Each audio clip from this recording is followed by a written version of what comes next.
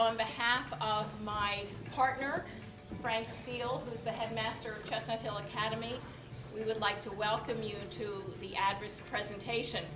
We both have had the honor of meeting Chris Lehmann uh, because we have used him with our faculty, and his presentation has been so exciting and have generated such buzz that we are thrilled to actually have him in person and to meet him in person. I'd like to take a moment and thank all of our tech teams because they are live streaming, and I think this is a first for an ADVIS produ uh, production uh, presentation. It is the second time we've done it. We, when Justice Breyer came to the schools, we were able to live stream and then to watch as our families clicked on to, to see him and to participate in an event that was closed to all other adults. So it was a very exciting way to virtually include all of our communities. And I think it is a testament not only to Chris, but to our engagement in 21st century education that we have such an amazing audience today. So thank you all for coming very much.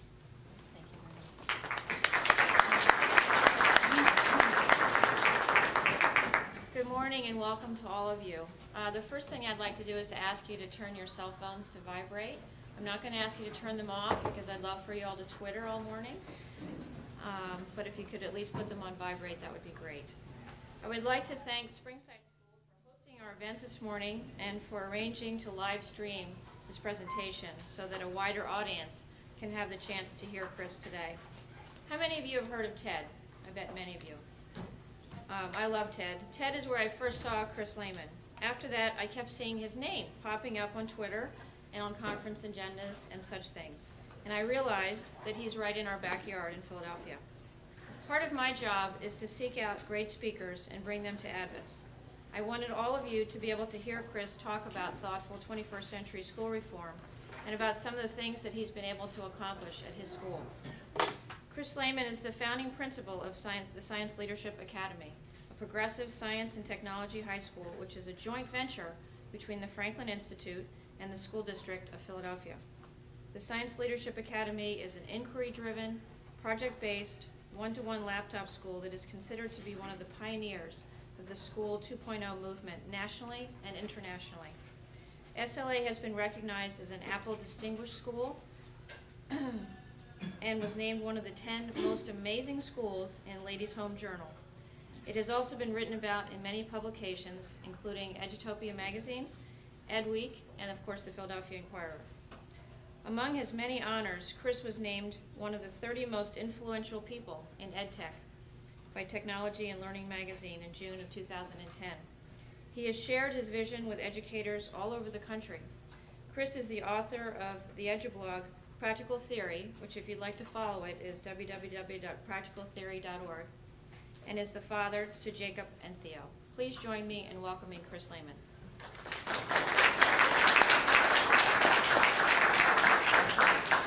Thank you. It's, uh, it's quite an honor to be here. Um, what I do love talking about is this idea of School 2.0, um, the idea that we need to kind of change what we're doing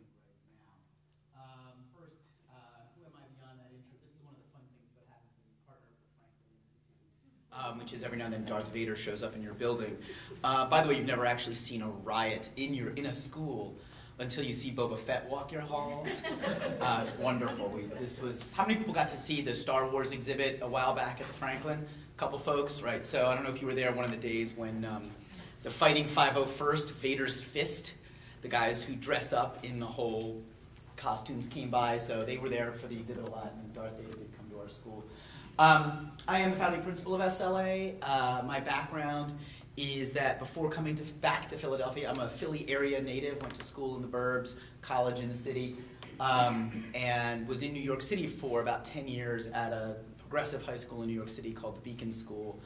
And um, had always kept my eye on small school reform in Philadelphia, wondering if they were ever going to get around to it. And in this very brief window of time, uh, about six or seven years ago, Paul Vallas decided it was a good idea and uh, put out a press release on ASCD Daily. And I saw it, wrote up a one pager on what I thought a school could be, started shopping it around, found out that the Franklin was also talking to the district about what a school could be, and we kind of came together and decided that we had a lot of the same ideas and um, created SLA. If you would have told me six years ago that um, we would be where we are today, I wouldn't have believed you, which goes to show you that things are possible. Um, and it was this kind of crazy window in time. I'm sure all of you read the same papers I do. Dr. Ackerman, while being a big fan of SLA, has kind of moved away from the small schools movement in Philly. So we've managed to get in in a very short window to start something that we're really proud of. Now, why this stuff matters and why I'm not in my school today um, is uh, three reasons. The first and most important reason is up in the upper right-hand corner, and uh, that is Jacob and Theo. Jacob's the one with the Mickey Mouse shirt. Theo is the one with the glasses. Um, my children are hitting school age. Jacob's in first grade at Greenfield Elementary in the city. Uh, Theo is, is still in uh, preschool. We watched last year. Jacob is the child, Jacob and Theo both, are the children of English majors. So our house is filled with books, and we were the parents who read to our children, you know, in utero and what have you. Um, yes, you all know those parents. Um, we watched last year Jacob go from someone who loved books to becoming, to starting down a path of, a, of being a non-reader. And we watched that happen through the rigors of kindergarten. You laugh. We don't. Um, he was sent home last year with about 30 to 40 minutes of homework every single night in kindergarten. You know, get up, you know, we've got to, and literally we heard the, we've got to start prepping for the tests in kindergarten. And his teacher, who was a very caring, very dedicated educator, this was not a bad teacher. It's important to understand. Sent home, perhaps. Um, did the 100 book challenge. The 100 book challenge turned into the 570 book challenge, and that's not, an, that's no exaggeration. And what happened was, is she made it competitive, right? And there was the whole chart on the wall, and who's winning and who's losing. Well, my child um, probably plays soccer against some of the children uh, of people here in this school. Um, got competitive, and so he was bringing home eight to ten books a night. And these were those leveled readers. How many people know the leveled readers? Right, you know, Johnny goes to the supermarket, Johnny goes to the baseball field, over and over and over again. Deathly boring. And he did it because he was told. He's a good kid. He does what he's told. And he did it because he was told, read as many books as you can. He was never told to love it. He was never told to enjoy it. So we were horrified when during the year Jacob started saying, I hate books. Now we got him back a little bit. In fact, yesterday I tweeted out a picture. I was doing the laundry upstairs and I came down. We have classic Philly row home. And Jacob was sitting on the bottom, or sitting about midway down the steps, reading books. Just that we, because we just leave books everywhere. They're like, you can't, you know, how to fall over books. And he was like, and I caught him. I was like, oh, this is great. He's like, well, I'm just, I'm just, I'm, I'm just, I'm just reading. You know, and it was like, I don't really want to admit to this, but we were all excited. So we're getting him back. How do we get him back? One, Shel Silverstein, still a big fan. Um, poetry, Mo Willems, good stories. And then the other thing, how many people have heard of Fablevision? Anyone in the room? Couple, one, two, three people.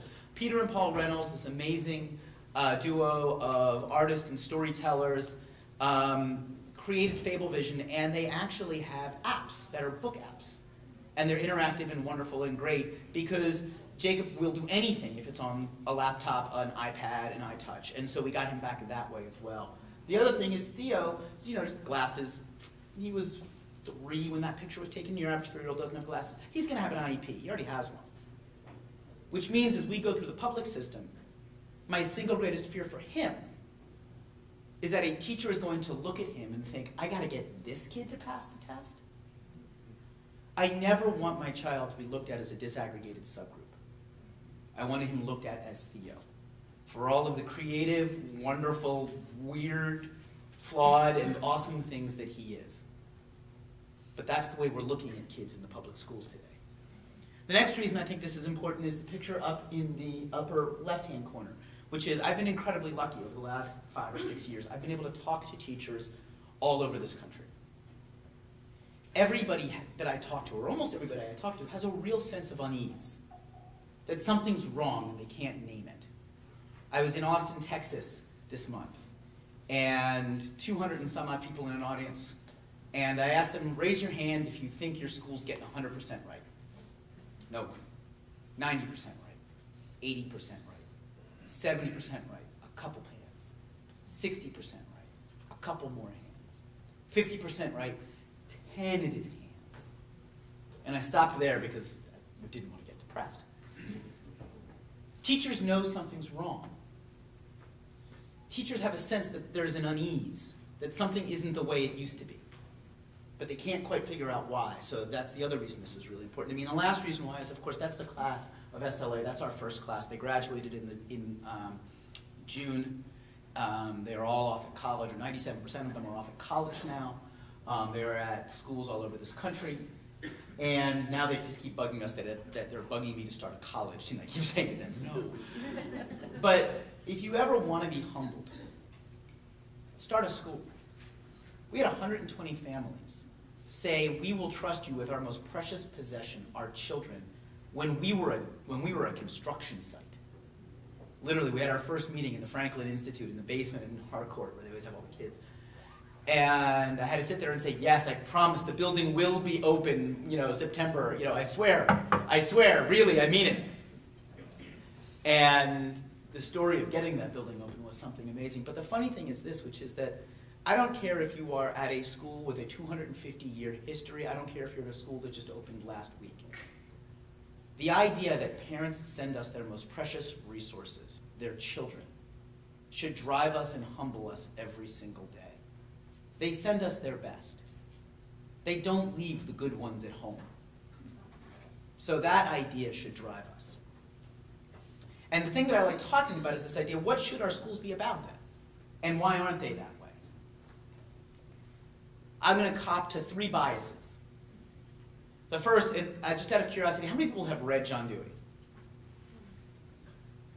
Mm, about 35% of the room. How many people have read him since graduate school? Okay, about 1% of the room. I think this is easier than we make it sometimes. I really think that the path is there for us. I really think this idea of School 2.0 is just progressive tools, uh, progressive schooling with cool tools. I am, uh, my parents always get happy when I say this, and since you're broadcasting it, I'll cop to it today. Um, I am the most derivative human being ever. I am the child of a, of a school teacher and a union lawyer. So all of my ideas, my parents sat in on one of my speeches one time and they were, sat in the back going, you think, you guys think he invented these ideas? No, he heard them from us. Thank you. But in the 1970s, in the mid 1970s, my mom taught in Camden, New Jersey for many, many years. And in the 70s, she got a grant to do autobiographical filming in Camden, New Jersey with, with middle school kids. No one had ever done it. No one had ever asked, I mean, not ever in the history of human existence, but no one had ever asked those kids to tell their stories. And in 1975, 76, my mom did. And they were using the old big, you know, the old cameras with film, and they had to cut them and do all of that stuff. And of course, it took forever. And the products were, right? I mean, let's be honest, that's what it looked like back then. And that was part of the knock. It was always very, very easy to knock progressive education because the projects took forever and they didn't look all that great. Well, the tools have caught up.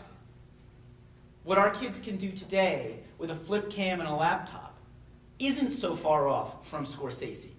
I mean, you know, technically, but, you know, what our kids can do, I mean, the TED Talk uh, that Stacy referenced um, was shot in New York City at the TEDx, TEDx, and it was filmed by SLA kids. And it's the most professional looking production like you can imagine. And it was eight kids and a teacher who cared. And they managed the whole thing.